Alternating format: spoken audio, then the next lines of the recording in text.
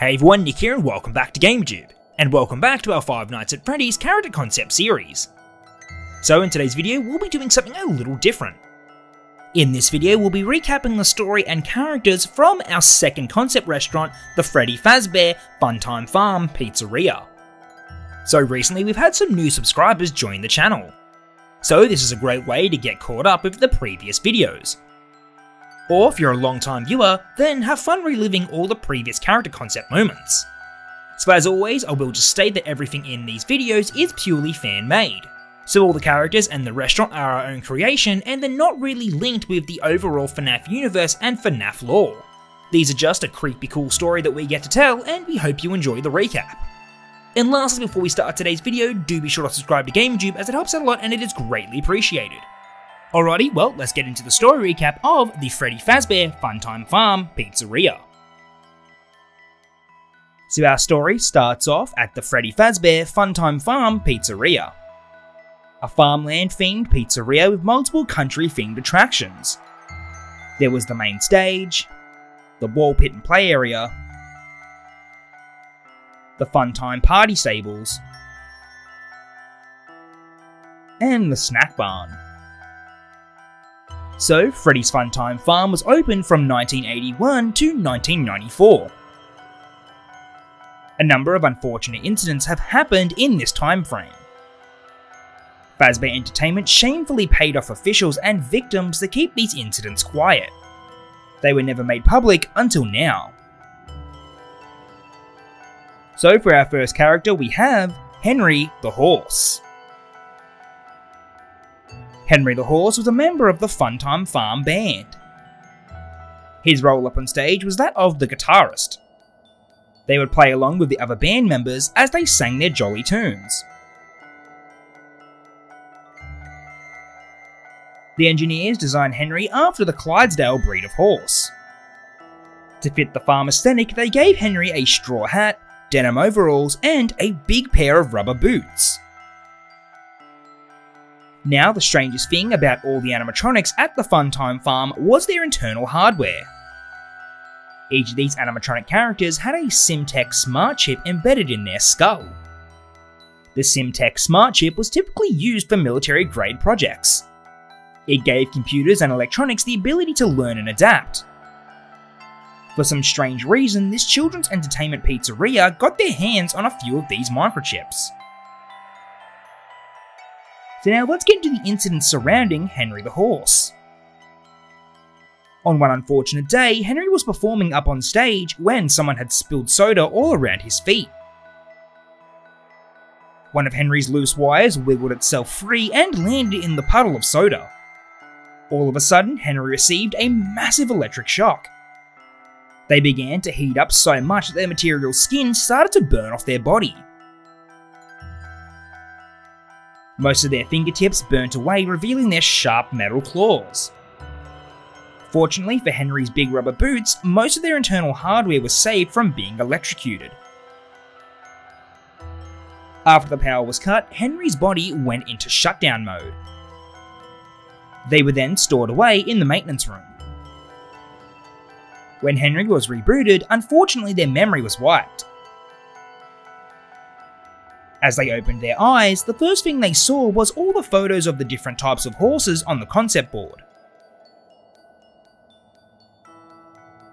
They saw all the horses running free in the open fields. The imagery of the horses running free in the wild awoke something in Henry. From that moment on, Henry was obsessed with getting outside. The only way Henry could escape was by unlocking the front doors.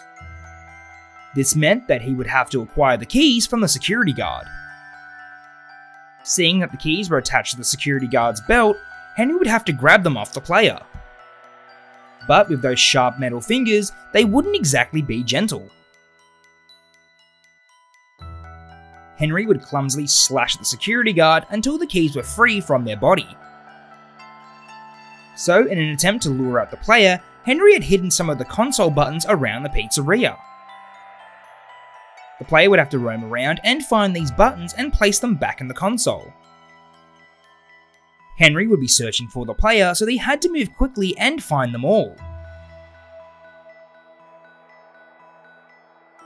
After they found all the buttons, they would then return to the safety of the security office and the night would be over. But with Henry roaming around, this task would prove to be pretty difficult.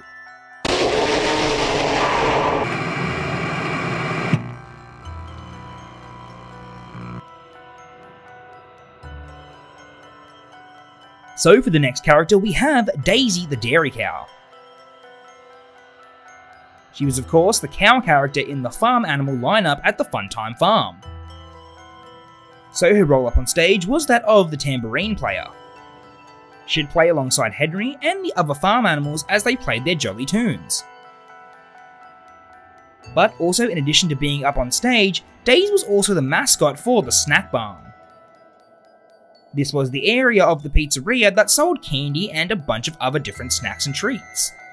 Daisy would often be standing near the snack barn greeting all the customers and also be there to take pictures of as well. So the Fazbear engineers designed Daisy after the Holstein breed of cow. They gave her the signature black splotches and white fur. Daisy was a fairly popular character, he was considered to be a crowd favourite and probably the animatronic that had their picture taken the most. Daisy was also programmed to give hugs to any of the guests that wanted to receive them. Daisy was programmed to be a happy and loving character. Now Daisy, being a cow, did hold some significance as well. Seeing that the town surrounding the pizzeria was primarily a cattle raising community. But with that also does come some troublemakers as well. In this town, amongst all the teenagers, was the tradition of cow tipping. This cruel act always took place around graduation year and tended to be quite a problem. So when it came to Daisy, there was no exception. If anything, tipping over Daisy was considered to be the ultimate honour. Year after year, a number of troublesome high school graduates would tip over poor Daisy while she was on stage or near the snack barn. Over time, all these falls that Daisy took definitely did a number on all their internal circuits. A couple of teenagers snuck up behind Daisy and tried to push her over, but the old girl wouldn't budge. So they decided to grab onto her jaw and stomach and pull her down. Eventually, they managed to rip off her jaw and tear away most of her stomach fabric. This exposed her battery terminals and wires hanging from her face. Daisy was quite confused as to why this kept happening to her. All she ever did was be friendly and hug as many guests as she could. When Daisy awoke once more, she came to the conclusion that she wasn't hugging enough people. That must have been why these terrible things have been happening to her year after year. Her internal smart chip rerouted her programming directive to hug overdrive. This meant Daisy would hug every single person she saw, and it so happens the first person she saw was our unfortunate security guard. With all those exposed wires and battery terminals, a hug from Daisy would deliver a fatal shock. So, this gameplay segment would take place back in the security office. Throughout the night, Daisy would be stalking the player. Daisy would try to approach the doors and then give the player a fatal shocking hug. But the more the player closed the doors and rejected her hugs, the more Daisy would get angrier and angrier towards the player. This would make her become much faster and much more aggressive. This would definitely put the pressure on the player and prove to be quite the challenge.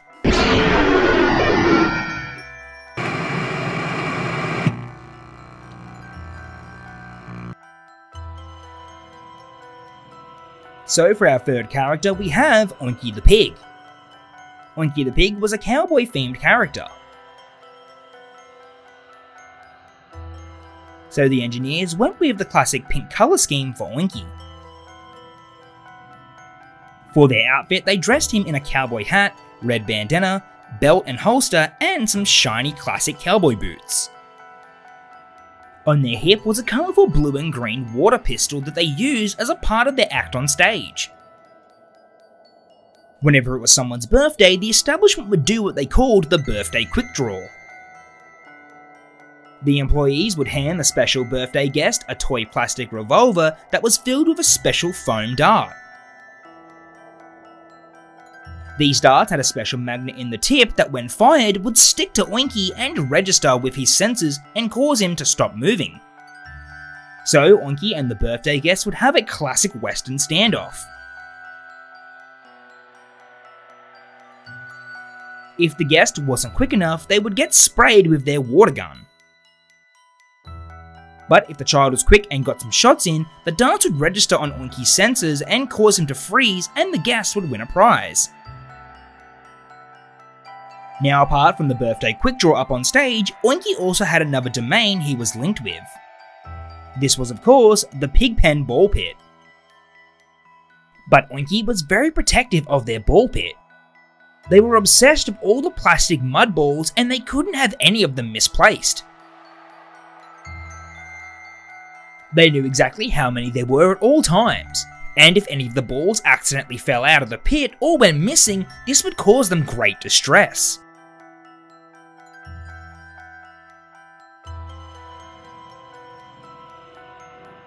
So one day the health inspector ordered the establishment to have the ball pit cleaned. So the pizzeria had a cleaner come over one night and vacuum all the balls into their cleaning truck. But Oinky didn't like this one bit. They thought that the cleaner was stealing the balls, so they attacked them to make them stop. After this attack on the cleaner, the manager ordered the security guard to pack up the ball pit for good. So in this gameplay segment, the player would have to grab armfuls of plastic balls and load them in the boxes at the front of the pizzeria. But whilst they did this, Oinky would be trying to stop them. The player could use the special magnet dart gun to stop Oinky in his tracks for a few moments. The night would be over when they packed away all of the balls. But Oinky would make this task anything but easy.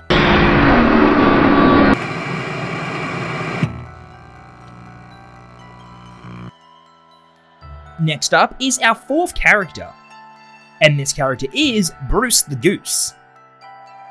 Bruce was quite the unique looking animatronic. The engineers designed him after the classic white geese. But their standout feature was their long extendable neck. Their neck was able to extend and retract back to its regular size. This feature was typically used for serving food or presents to guests. Employees would place a tray of pizza and sodas in their bill and let Bruce extend their long neck over to the guest and place it on their table. Alongside serving food and drinks, Bruce also played in the band when it was time to perform. So in the band we had Henry on guitar, Daisy on tambourine, and Bruce who played the harmonica. They would set up the harmonica on a stand as Bruce would put their bill up to it and play. Another special activity that was only unique to Bruce was Bruce's golden goose egg. The employees would store the guest's present in a large oversized gold spray painted egg.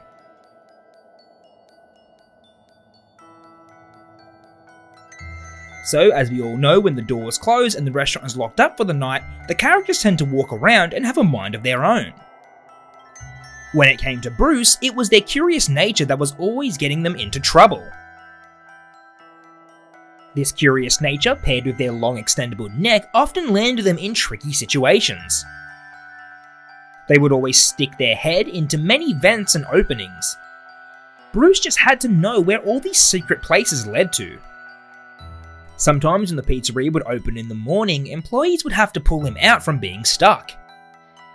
So on one unfortunate night, Bruce wandered into the kitchen. Bruce has never seen the kitchen before. With this new area and all the new things to come with it, Bruce went into curiosity overload. They eventually found the open smoke extraction vent. As they stretched their neck through the vent, they would soon realise what was at the end. Unfortunately, Bruce went a little too far and drove their bill straight into the sharp metal blades. When they removed their head, not much of their bill was left. Bruce has never had a surprise like that before. With this rush of excitement and fear, they decided to investigate every little thing in this kitchen.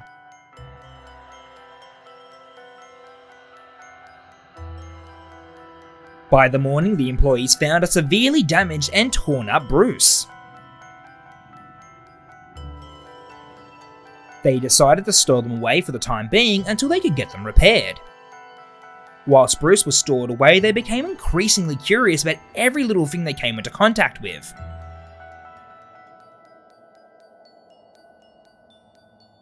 They tore apart stuffed toys, other spare parts, and anything else that interested them. After they discovered all they can, there was still one final thing they never knew. What exactly were these strange beings that were always in the pizzeria? They called them guests, but what exactly were the guests? Are they robots just like them? Or are they large living toys? Bruce had a burning desire to find out what was inside those beings. That night, they would find out exactly what these beings were. Unfortunately for our poor security guard, Bruce only knew one way of finding out what objects were. So Bruce would approach the door from either side. As soon as they did, the player would need to close them immediately. But one thing the player would soon figure out is that Bruce can also access the vent above them with their long extended neck. So the player would also have to look above them to quickly shut the air vent. So now the player has to manage both doors and the air vent above their head. Whilst juggling all these attempts to enter the security office, the player might just get overwhelmed.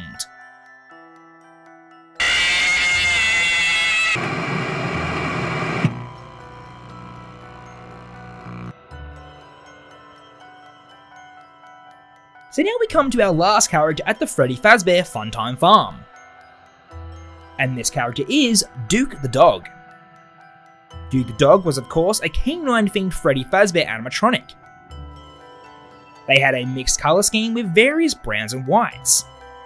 The engineers modelled Duke after the Border Collie breed of dog.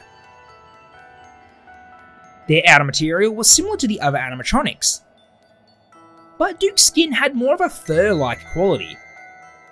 Another special addition was their bushy brown tail. Now one feature that Duke has that all the others don't was that of two little companions that accompanied them on stage. Duke was a part of a trio with their two little pups named Patch and Spot. Patch and Spot were essentially two animatronic puppets that would attach the Duke's back. They both only had a torso, two arms, and a head. The trio typically comes together when they're performing on stage. As for Duke and his pups roll up on stage, they were the lead singers. They would sing a number of cheerful birthday songs with the whole gang up on stage. Also, Patch and Spot would pop up from behind Duke and provide backup vocals. The establishment definitely made great sales on all of their merch. The most popular seller being the Patch and Spot hand puppets. But eventually in the later years, Fazbear Entertainment made the choice to remodel the puppies. But this would prove to be a very bad mistake. In recent times, the popularity of Patch and Spot has begun to drop. Freddy Fazbear Entertainment suggested to remodel them and make them more hip and appealing for the modern audience. So their old material skin was removed and then replaced with a much more hip update.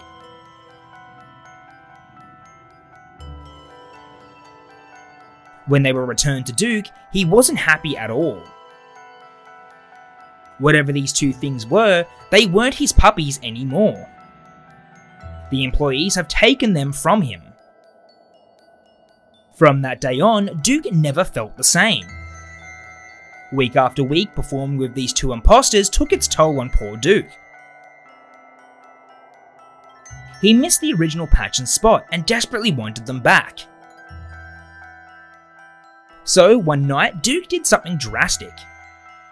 He ripped off both their fabric skins and went to replace them with the next best thing. Duke tore through the locked merch cabinet and retrieved the patch and spot hand puppets. They then crudely tore off the skin of Patch and Spot and replaced them with the puppets. The staff decided to lock away both Patch and Spot in the security office to keep them safe until the repairman could come back and work on them again. Once again, the employees have taken Duke's puppies away from him. He didn't know if he was ever going to see them again. He had to get them back, no matter what. And the only person standing in Duke's way was the security guard. So for this gameplay segment, the player would have both the vandalized Patch and Spot puppets in their possession. Duke would appear quite frequently from both the left and right sides. As soon as they see Duke, they would need to close the doors immediately. If the player slips up and lets Duke pass the doors, then they would have one failsafe. The player would have to quickly throw the Fazbear plushie through the opposite door, and Duke would chase it out of the room. Throughout the night, Duke would get more and more aggressive. On some rare occasions, Spot and Patch would spring to life regardless of being plugged in. When this happens, the player would quickly need to grab them and throw them into a cabinet drawer. If the player failed to guard the puppies, then the night wouldn't end very well for them.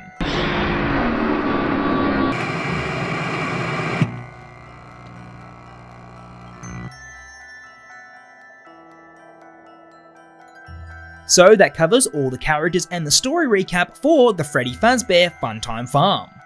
I hope you all enjoyed this video, and if you did, please consider leaving a like, commenting, and subscribing, as it helps out a lot and it is greatly appreciated.